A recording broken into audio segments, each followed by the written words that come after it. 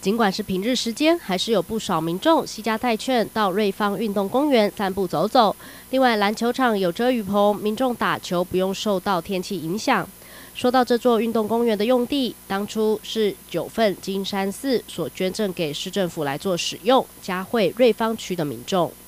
呃，我们感谢哈金山寺的师傅的大爱，那捐赠现在现有的瑞芳运动公园的这块土地，让我们的呃大小朋友还有瑞芳区的民众都有一个休闲啊游憩运动的好地方、好场所。那因为碍于周边呢停车环境的不足哦，那包括了呃以及以及 U bike 的设置，那这次非常感谢呃金山市师傅再次的大爱捐赠呃差不多有五块的一些麒麟小弟提供。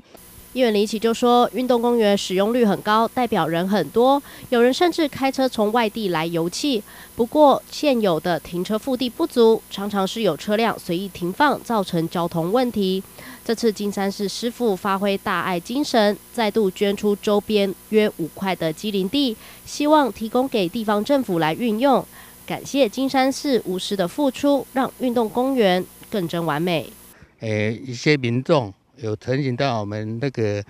呃，林立奇市议员那边啊，像这边的一百个数量不够，啊，呈请我们那个，呃，那个交通局来以各单位来会勘呐，希望这个这个这个这个案件啊能够顺利来，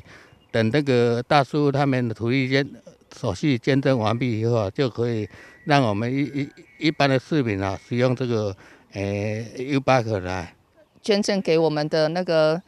主管单位体育处，然后再来我们会交由交通局来做一个整体公园的一些规划设置，呃，摩托车以及汽车停车位，甚至是 U bike 的停车站点的设置，我们也希望能够将整个瑞芳运动公园能够将周边的啊一些设施能够做得更完善。当地里长也说，因为有九份金山市的捐地，才造就现在的瑞芳运动公园。如今金山市再度捐地，将可规划为停车用途或作为单车租借站点，使得周边硬体设施更加完善。谢纯威，瑞芳采访报道。